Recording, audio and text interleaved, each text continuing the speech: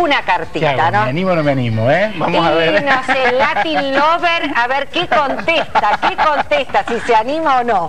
¿Lo dejamos ahí? Lo dejamos ahí. Lo dejamos ¿eh? ahí, porque nosotros seguimos con progresiones. No, yo quiero un poco para redondear este tema. Lógicamente para progresiones hay mucho, muchísimo para, para charlar, para enseñar, progresiones de camisa, eh, porque incluso las progresiones se hacen por recortes, no sé si me entendés, un pantalón que tiene un canesú, se progresiona el canesú, Exacto. se progresiona la pierna, los bolsillos, es decir, para simplificar el trabajo. Yo un poco lo que estoy enseñando ahora es a progresionar las estructuras. Por lo menos para que sepan de un pantalón básico que tiene en talle 44, cómo hacer, el 46 o el 46 o el talle 42, que esto sirve mucho como, como salida laboral, es muy importante esto como salida laboral, porque si querés confeccionar un pantalón, viste, eh, es muy importante poder hacer la progresión. Entonces yo hoy voy a terminar con progresiones de pantalones. Además que me he enterado que se cobran muy bien las progresiones no te voy a contar. No, no, no, yo no lo voy a decir, yo lo sé. No tiene que comprarse camisita. Yo lo sé, pero la moldería se paga muy bien, por eso es importante. Es un trabajo, sí, rentable, realmente es, un, trabajo como, como salida laboral es muy rentable. Es ¿eh? rentable y aparte que la progresión se paga aparte, entonces yo Aparte el molde industrial, el molde industrial, ¿no es cierto?, la fábrica, no es como el molde que se hace para cortar una prenda. Seguro. El patrón industrial es un molde que se utiliza para cortar cientos o quinientas o mil prendas, entonces el costo de la moldería se prorratea en esa cantidad de prendas. y es muy, importante que sea perfecto. ¿eh? Es fundamental. Porque 500 prendas mal cortadas y ahí te están corriendo por la 9 de julio. no no, no, no, tenés que correr. Y después quiero terminar progresión porque te voy a, les voy a enseñar a hacer la prenda más escandalosa de la historia. Uy, Dios mío. ¿Eh? Lo dejamos ahí también. la prenda más escandalosa de la historia del vestido les voy a enseñar. ¿eh? Bueno, empezamos con la progresión. Y el escándalo viene en la clase que viene. ¿eh? Entonces, marcamos. Fíjense que marco. Cintura, esto es muy práctico, ¿eh? Y costado exterior. ¿eh? Marqué cintura y costado exterior. Si yo tuviera bolsillo, el bolsillo lo dejo para todos los talles igual, no hago progresión de bolsillo, salvo que se hagan muchos talles. Si, si yo este pantalón lo estoy haciendo de 42 al 48, no tiene ningún sentido modificar la boca del bolsillo. ¿eh? Entonces, fíjense, para ampliarlo, corro un centímetro y bajo medio centímetro de tiro. ¿Está? Yo lo estoy haciendo a ojo. Fíjense que yo hice un molde en escala, un poco más chiquito, pero voy a respetar las medidas de la progresión. ¿Está? Le doy un centímetro para que se agrande los cuatro de contorno y bajo medio centímetro de cintura y termino de marcar el pantalón, ¿sí? Termino de marcar tal cual el pantalón. Y ustedes dirán, esto es maravilloso, pero qué fácil. No es tan fácil. Porque bueno, empezamos, hicimos la primera parte de la progresión. Entonces después vamos a tener que hacer algunas correcciones en la pierna, porque por ejemplo, fíjense, si yo empiezo a hacer esta progresión y le empiezo a dar un centímetro por talle en la botamanga, cuando yo hice tres talles no va a pasar gran cosa, pero si yo hago diez talles, como normalmente se puede hacer en una ginería, entonces a la, a la persona más gorda le estoy haciendo un pata de elefante. Es decir, que la medida de la pierna hay que rectificarla, hay que ir rectificándola para que no se nos vaya esa medida. Entonces, fíjense, la pinza, la pinza, igual como hicimos en otros, en otros casos, la centralizamos medio y medio y siempre la dejamos de la misma profundidad. Siempre la dejamos de la misma profundidad, la pincita, ¿sí?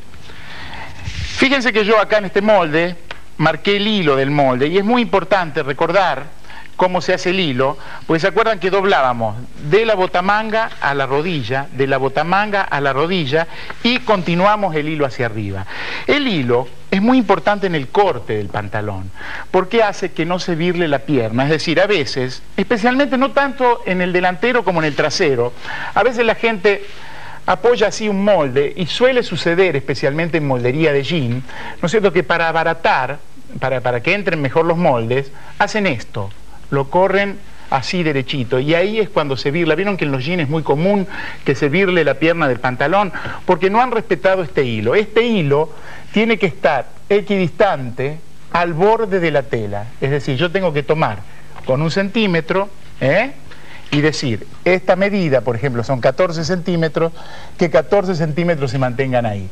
Y tanto en el delantero como en el trasero doblamos de la botamanga hasta la rodilla y de ahí continuamos hacia arriba el quiebre del pantalón. ¿Entendido? Entonces, fíjense, eso fue para refrescar un poco, yo creo que ya lo enseñé cuando doy pantalones, pero sirve para refrescar. Entonces, fíjese, lo que hice acá es lograr un talle mayor dándole un centímetro y medio de bajada. La botamanga centralizo y la dejo para los dos talles igual, es decir, una botamanga de 18 centímetros, es decir, un pantalón cigarette, tiene que tener 18 centímetros para el talle 42 y para el talle 48, no se modifica la botamanga. En la rodilla, en la rodilla tomamos media medida, ¿eh? Fíjense que yo tengo un corrimiento de un centímetro, lo tomamos a media medida. ¿eh? Entonces, fíjense que la costura del costado, yo puedo decir, empieza acá, pasa por la media medida y se pierde acá arriba. Y tengo la medida corregida, la de afuera no vale. ¿Está? En la medida de centro hago lo mismo hasta la rodilla, la de afuera no vale, pero acá tengo otro secretito, porque el tiro esta, la longitud del tiro, ¿se acuerdan de la medida de X? Esa que yo dije que era el 15% de la cadera, después dije que era el 1,5 y después me equivoqué y al final no sé cómo quedó, es el 15% del cuarto de cadera. Eso también hay que modificarlo y modificarlo en la misma proporción. Esa proporción, si yo, imagínense que estoy dándole un centímetro de más, a la cadera, esto acá, este pedacito, tiene que aumentar un milímetro y medio. Fíjense, que si hacemos una progresión de dos o tres talles, no tiene importancia si nos equivocamos en un milímetro y medio. Pero si hacemos 10 talles, es un centímetro y medio que nos podríamos llegar a equivocar. Y equivocarnos en un tiro, en un centímetro y medio, es hacer que caiga muy distinto el tiro del pantalón. Entonces, fíjense, uno y medio es una pizquita, acuérdense, un fosforito de madera, ¿eh? Entonces lo llevo así y voy saliendo hacia afuera el milímetro y medio. Entonces, terminado, bueno, quedó con que el, bolsillo queda para todos los talles igual. La cintura, por supuesto, es una tirilla que va a aumentar 4 por talle, porque la cintura cubre todo el recorrido. Entonces, vamos a probar ahora a hacer un achique. Siempre los achiques son más difíciles. Y vamos a probarlo con el trasero. Fíjense que en el achique son exactamente los mismos pasos, solo que uno no ve lo que va haciendo abajo, entonces por eso resulta más difícil. ¿eh? Entonces empezamos. El primer paso, cintura, costado exterior. Cintura, costado exterior. Ahora, en vez de agrandar un centímetro, voy a tener que achicar un centímetro, voy a tener que llevar para allá, para aquel lado. Entonces me marco, me hago unas marquitas de dónde estaría el centímetro, me, me hago unas marquitas de dónde estaría el medio centímetro, ¿sí? Entonces, llevo para allá un centímetro, a chico, fíjense que el de abajo me está quedando más chico, y llevo medio centímetro hacia arriba. Lo que les decía, no estoy viendo porque yo tengo el talle 44 acá, estoy dibujando el talle 42. Entonces en ese punto termino de marcar el tiro, perdón, el pantalón, exactamente igual. La pinza la centralizamos, mitad y mitad. Tengo que ir como espiando al molde de abajo, porque no lo veo. Fíjense que es todo más chico lo de abajo. Entonces tengo que ir espiándolo y que me dé mitad acá, mitad acá y hacer la pinza exactamente igual centralizada. ¿Hasta ahí vamos bien? Si yo quisiera hacer el, el hilo del pantalón, directamente hago así, lo hago coincidir, quiebro y la base la uso de regla. Vuelvo a dibujar el hilo del pantalón y ya lo tengo dibujado en el talle siguiente. Porque eso es muy importante, sobre todo en moldería industrial, marcarlo talle por talle, el hilo y el sentido de la tela. Porque a veces cortar un pantalón, una pierna en un sentido y la otra en contrasentido, hace que el pantalón se vea de dos colores, especialmente en las gabardinas o telas que tienen un poco de brillo, ¿está? Entonces, vamos a hacer la corrección de la pierna. ¿Qué hacíamos? Teníamos que dejarla, la botamanga, igual que esto. Entonces, volvemos a este punto dibujamos la misma medida. ¿Está? Venimos a la rodilla y en la rodilla sabemos que tiene que estar en el medio de esta, es decir, es como que lo agrando, no sé si me entienden, es como que hago el proceso al revés.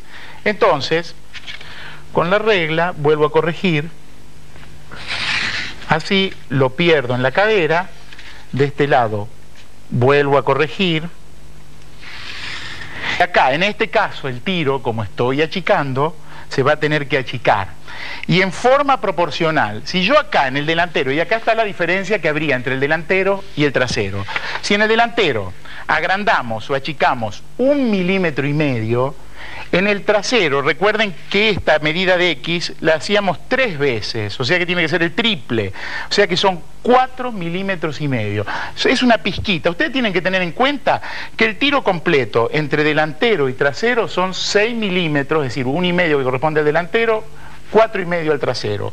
Cuatro y medio es medio centímetro. Digamos que si vamos a hacer un tallo, ustedes saben que esto, si nos equivocamos un poquitito no pasa nada. Esto sí, incluso yo cuando hago una progresión de muchos talles, hago por ejemplo dos o tres talles, controlo. Hago dos o tres talles más, controlo. Es decir, voy llevando esa medida y voy viendo que no, que no se me vaya. ¿Está? Entonces lo voy terminando y se termina así en nada. Entonces, el pantalón así estaría terminado. Lo único que me faltaría la pollera, pero la pollera es muy fácil. La pollera es simplemente un centímetro de costado, nada más, y centralizar la pinza de la misma manera que lo hicimos en el pantalón. ¿Está? Y de achique uno menos. Y de achique uno menos. Siempre uno de costado. Lo único que en las minifaldas, viste, uno a medida que va agrandando el talle le va dando un poco más de larguito. Y sí, ¿eh? no, no podemos seguir haciendo tan, tan corta. Pero no porque lo necesite, sino por una cuestión estética. Exacto. Bueno, o sea que ya prácticamente terminamos con las progresiones. Vamos ¿Vos querés saber la prenda escandalosa? Ver, ¿eh? Sí, ¿qué es ese escándalo que tenemos la próxima? Es, es escandalosísima, o fue escandalosísima, ¿eh? Sí. Sí, No, digo nada, no digo nada, no te vayas, ¿eh? Y usted no se vaya porque después de la pausa Ofelia está con ustedes.